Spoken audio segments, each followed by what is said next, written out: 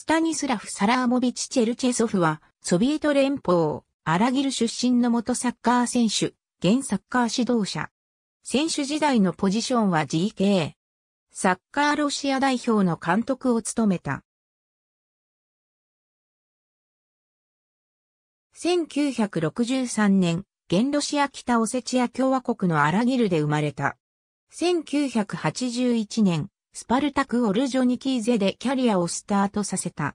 1984年、憧れていた強豪クラブの FC スパルタク・モスクワへ移籍を果たす。スパルタクでは、世界でも有数の GK リナとダサエフのバックアッパーとして試合に出場した。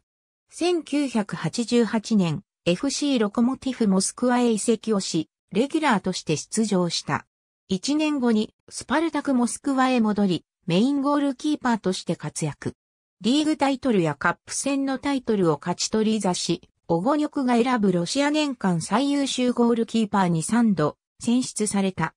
1996年にはオーストリアブンデスリーガの FC チロルインスブルックに移籍。2000から2001シーズンにクラブはリーグ優勝を成し遂げ、チェルチェソフはリーグ最優秀 GK に選出された。